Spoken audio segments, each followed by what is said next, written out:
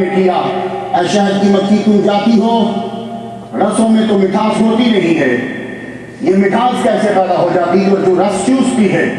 तो अंग्रेज़ बोला नक्टर जो है फॉर्मेट होता है, इसके अंदर समझ नहीं आती कैसे वो लेके आती है रस। ये डालती है अंदर मुँह, फिर उसको ग्राइंड करती है तो उसके लोहा इतने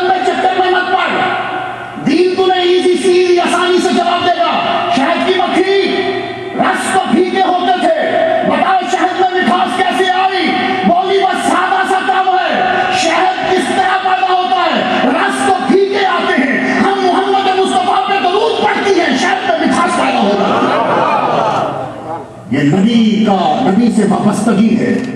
नबी से वाबस्तगी है। आज तो दरूद पढ़ना भी मसला बन गया। नबी से वाबस्तगी है। तो आओ उसी खुदा ने कुरान में सारा इलम दिया। बस मेरे बच्चे मिल रहे बाकी।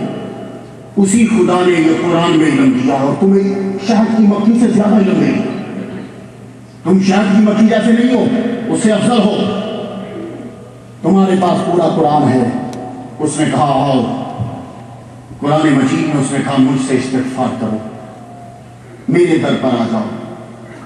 आजकल लोग भागते हैं पुलिस वाले के पास। पुलिस वाले तो मेरी हिफाजत कर।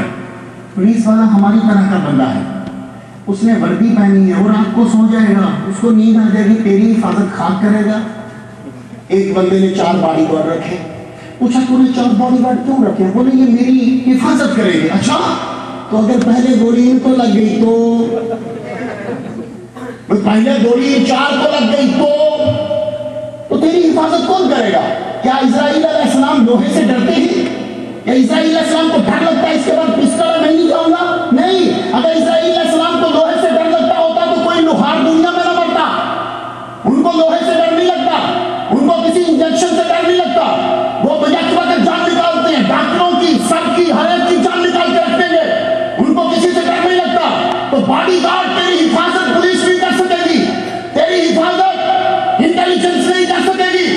अगर तेरी हिफाजत करेगा तो वही करेगा जिसका नाम कुरान मजीद में हफीज है। वो हफीज तुम्हारी हिफाजत करेगा, रब तुम्हारी हिफाजत करेगा। तो अल्लाह पाक ने तुम्हें बुलाया, कहा, आओ, मेरे सामने गिड़गिड़ाओ। हम मैं और आप कुछ नहीं है। यकीन जानिए, हम नमाजें भी पढ़ लेना तो तब भी दोजख नहीं जाएँगे हमें नमाजों पे नाज नहीं है। मैं तुम्हें एक जाविये से जुमला कह रहा हूँ। देखो, हम लोग कितनी नमाजें पढ़ लोगे, कितने हज कर लोगे और समझो कि बख्शे जाएँगे। तो मुझे इतना बता दो, आदम सलाम क्यों कह रहे हैं, अल्लाह मुझे माफ़ कर इब्राहिम सलाम जो सात नबी छोड़कर सारे नबियों के अब्बा जी हैं, बाप हैं, वो कह रहे हैं या अल्लाह मुझे माफ़ कर दे। मूसा सलाम कह रहे हैं या अल्लाह मुझे माफ़ कर दे। ईसा सलाम कह रहे हैं या अल्लाह मुझे माफ़ कर दे। इस्माइल सलाम कह रहे हैं या अल्लाह मुझे माफ़ कर दे। चलो सबको छोड़ो जो नबियों का सरदार है, कि जिसके बारे में आज उतर गई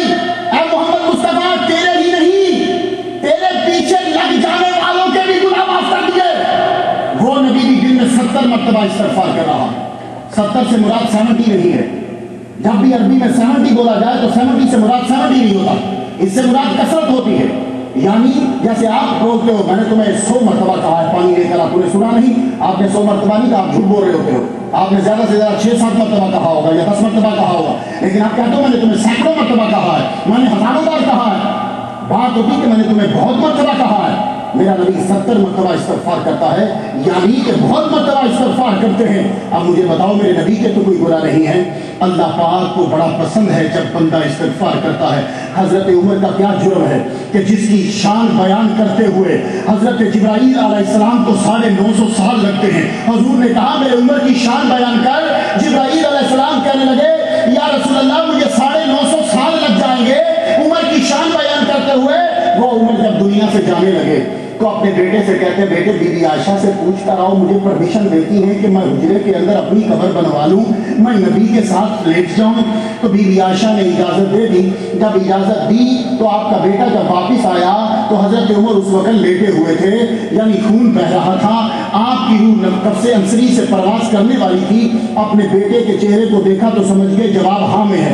बेटे से इशारे में कहते हैं कि मेरा सर मेरे तकिए से हटा के खाक के ऊपर रख दे। हज़रत उमर रबी अल्लाह का सर जब खाक पे रखा गया तो आपने अपना ये दाया रुखसार मट्टी के अंदर रगड़ दिया।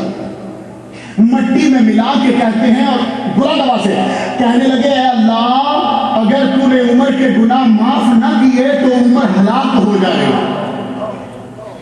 ये हज़रत उमर हैं कि जो कोड़ा मारते हैं तो जलजला बंद हो जाता है। ज़मीन में जलजला बंद हो जाता है। कोड़ा मारते हैं, आग रुक जाती है। लेटर लिखते हैं, पानी जारी हो जाता है। वो उमर कह रहा है अल्लाह, अगर तूने मुझे माफ़ ना किया तो उमर हलाक हो जाएगा। ये हज़रत उमर है। हम किस जगह, किस मकाम पे हैं? कहाँ हैं हम? जब हज़रत उमर ये जुमला कह रहे हैं तो फिर हम किस मकाम पर हैं? आइए, हज़रत मूसा अल्लाह से कहते हैं, अल्लाह, तू मुसलमानों पे मुसीबतें क्यों उतारता है? ये बिल्कुल आपके सवाल का जवाब देने लगा हूँ।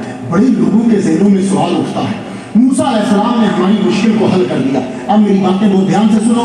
मैं इसी के बाद ही जो है गुलपोशी होगी, फिर आपके लिए दुआ शुरू। आपके दिमाग में हो कि हम आज क्यों आए हैं? मूसा कहते हैं, या अल्लाह, अपनों पे मुसीबतें क्यों उतारता है? इतना सवाल किया, रब ताला ने उनकी आँखों से हिजाब हटा के जन्नत दिखा दी। मूसा ने जब जन्नत देखी जन्नत देखने के बाद क्या जुमला कहा, सब सुन लो, दिमागों में बिठा लो। कभी कोई मुसीबत और दुख तुम्हें परेशान न करे। मूसा सलाम ने जन्नत को देखा तो क्या कहते हैं? कहते हैं अल्लाह, अगर तू किसी की तो जो रहे।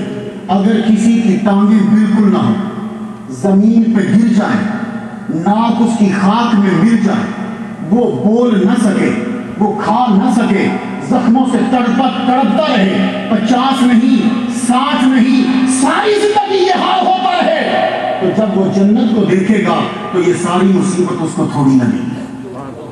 ये सारी मुसीबत उसे थोड़ी लगेगी। अल्लाह, जब तू उसको जन्नत दे देगा तो उसके लिए बहुत, वो ये सब कुछ भूल जाएगा। हमें सिर्फ़ सर में दर्द हो तो चीख पड़ते हैं। हमारे जरा जख्म लगे तो चीख पड़ते हैं। मूसा कहते हैं, जब जन्नत देगा तू मोमिनों को, मुसलमानों को, वो अपनी ये तकलीफ़ भी भूल जाएँगे। फिर रब ने उनको दोजख दिखलाई। दोजख को जब देखा, आज जिससे पना मांगने आए हो, आज जो रब से माफ़ी मांगने आए हो, मूसा सलाम ने जब दोजख को देखा, दोजख देख कर काँप गए। कहने लगे, या अगर किसी काफिर को पूरी दुनिया पे हुकूमत मिल जाए, सारी दुनिया उसके कब्जे में आ जाए, सारी दौलत उसके कब्जे में आ जाए, सारे खजाने उसके कब्जे में आ जाए, सब बंदे उसको चाहने लग जाए, और सारी ज़िंदगी कयामत तक वो दुनिया पे हुकूमत करता रहे तो जब मर के जाएगा, सब कुछ भूल जाएगा। पहुंचेगा तो इस चीज़ को बिल्कुल मामूली समझेगा, ये कोई खुशी खुशी नहीं। हर शय मिट जाएगी। तो मुसलमानों, अल्लाह ताला ने आपको अब बुला लिया आज। अपने पास बुलाया। मेरे नबी से जब भी कभी सवाल करने आते थे, सहाबा तो रब का स्टाइल डिफरेंट था। उलमा जलवा फरमाए, या सालूना का निर्मही कुल हो आज़म या सालूना का माजा युल्फिकून, कुलिल अफ या सालूना का अमिला हिल्ला कुल हिया मवाकी कुल स्टाइल देख या रसूल अल्लाह चाँद क्या है?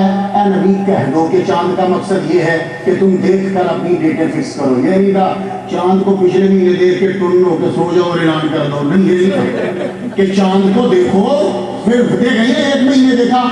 नबी साहब, पिछले महीने देख लिया था, अब क्या देखना है? ऐसा बड़ी बात है। ये तूने पिछले महीने देख लिया? और इसलिए इसलिए एक साहब ने दस साल पहले ही देख लिया। उसने दस साल पहले देखकर हमें डेटे दे दी और हम चल रहे हैं। यहाँ कोई नहीं बोलता कि नबी की हदीस के खिलाफ हो रहा है। तो अब देखिए, तुमसे आपसे पूछते हैं कि चाँद क्या है, अहिला चाँद क्या है? कुल हिया मवाकी तो लिनास बोलो कि ये टाइम मलूम करने के मवाकी इससे टाइम मलूम किया जाता है? तो इसे देखते हैं टाइम इसका चाँद पर नहीं।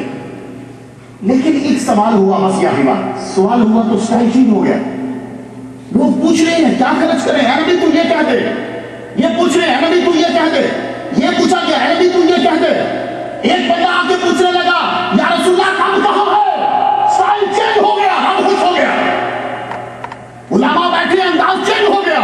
उस बंदे ने आके इतना पूछा, या रसूला कब कहा है? तो ऐसे लगता है कि जैसे रहमत पहले आसमान से ऊपर का मस्जिद नबी के अंदर अब ये नहीं कहा कुल ना, रब फ़ौरन बोला इसा साला का इबादी। मैं करीब हूँ। मैं करीब हूँ, मैं करीब हूँ तो रब तुम्हारे करीब आ गया, जब बंदा उसे पुकारता है, करीब आ गया। किसी शराब पीने वाले ने तोबा की तो रब नहीं कहेगा वो तू अब आया? ना ना, वो ये जुमला बोले थे, वहाँ ये नहीं बताया जाएगा, कहाँ था तू चालीस